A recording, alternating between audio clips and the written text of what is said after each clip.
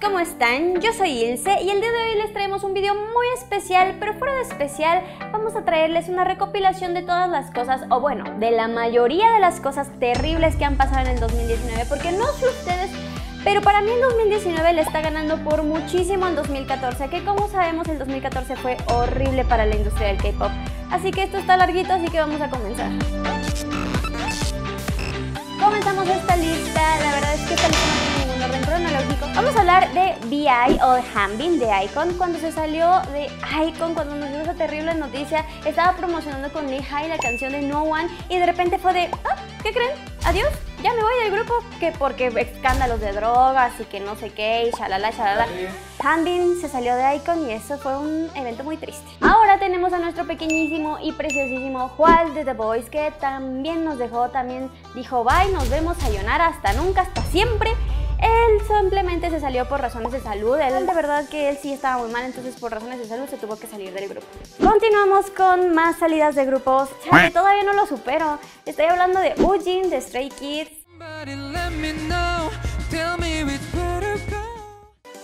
¿Qué les digo? O sea, o sea, JYP agarró y me dio una cachetada cuando me dijo eso, que porque problemas de problemas personales pero como sea, esperamos que esté bien, esperemos que le vaya muy bien. No se todos sabemos, todos nos duele, todavía seguimos luchando por esta causa. Estoy hablando de Bono de Monsex. La verdad es que nadie se lo esperaba. Yo estaba en mi camita toda preciosa y durmiéndome y de repente me hablan y me dicen, oye, revisa Twitter. Y yo así de, no, no, no, espérate, tranquilízate. Voy a Twitter y lo que veo es Monsta X bueno, o sea, no podía creerlo. Lo peor, lo peor de todo es que nadie se lo veía venir. O sea, esto era era alguien que no se lo creía, o sea, yo no me lo creía, nadie se lo creía, era algo, estaban en pleno comeback, estaban en pleno comeback y estas cosas pasan. La verdad es que esto es algo por lo que seguimos luchando todavía, esperamos que se pueda resolver, pero pues sí. A continuación tenemos un caso muy especial, estoy hablando de una parejita que todo el mundo conoce, es Hyuna y Idon. Esto que es un meollo de cosas porque son varios escándalos en uno. Eh, tenemos la relación de Idon y Hyuna, tenemos la salida de Hyuna de Cube Entertainment y tenemos la salida de Idon de Pentagon. O sea, fueron varias cosas en un mismo meollo. Fue un volcán que explotó completamente. Primero nos dolió muchísimo que Pentagon dejaran de ser 10. O sea, Tentastic se acabó. Adiós, Tentastic. Tentastic, no, pero dejaron de ser los Tentastic, ¿qué? Me agrada que sigan haciendo eso, pero pues ya no está Idon. Luego se salen de la empresa y muchas cosas. Y luego, a, o sea, a vísperas del concierto en México. O sea, qué falta de respeto, qué falta de respeto Cube Entertainment, qué falta de respeto. Y vámonos con los grupos también viejitos y súper poderosos. Estoy hablando de la salida de Kangin de Super Junior. La verdad es que, al menos acá de este lado del mundo, en Latinoamérica, todos apoyábamos muchísimo a Kangin y queríamos que regresara. Pero de aquel lado, como ya se los he dicho muchísimas veces, a veces la comunidad coreana nos gana un poquito. Pero sí, Kangin de Super Junior Bye con Super Junior. Cada año, como siempre, tenemos idas, venidas, bajas y subidas.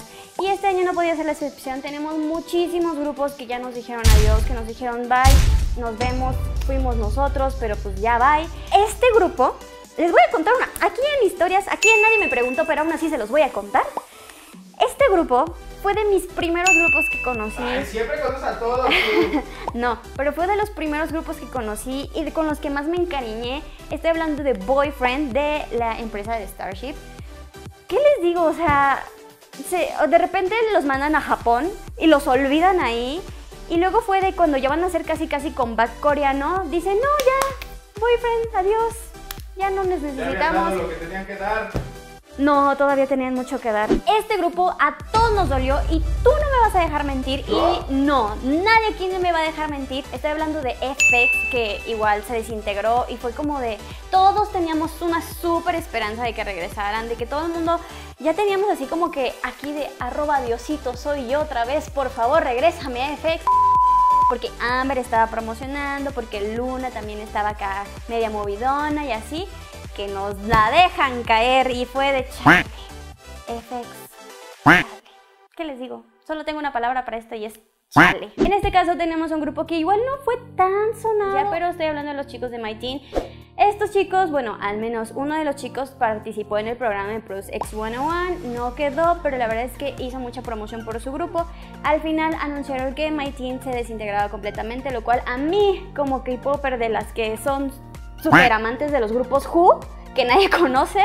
Me dolió muchísimo porque me gustaba mucho Team. Pero tocando este tema de Produce X101, vamos a hablar de la controversia tan enorme que ha sufrido este programa. Hemos visto muchas temporadas de este show en el que son muchísimos idols tratando de debutar. Hemos visto grupos como AOA, como Ice One, como 101, ahorita está X1. Tras de toda esa producción de Produce X101 hubo muchísimo escándalo. Ahorita es cuando están saliendo todos los escándalos y todas las cosas que taparon en temporadas pasadas, o sea, ni siquiera de este año solamente, de todas las temporadas. Entonces, este es un tema súper delicado en el que todo el mundo se pregunta, ¿realmente qué tan verídico es este programa o la cadena realmente que lo transmitía? Entonces, la verdad es que sí se metieron en unos problemitas, pero sí, el problema de Produce X101 fue grande.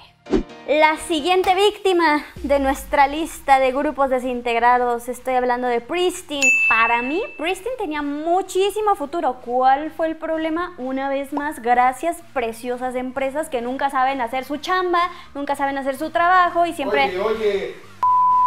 ¿Pero qué pasó? Se desintegraron porque obviamente la empresa las mandó a su casita y no quisieron tener problemas.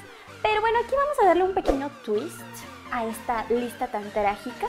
Y es que, pues bueno, ya sabemos que las chicas de Pristine ya no están juntas, pero como hoy hay un analgésico pequeño, las chicas van a volver a debutar e incluso algunas ya debutaron en el grupo de Inopia.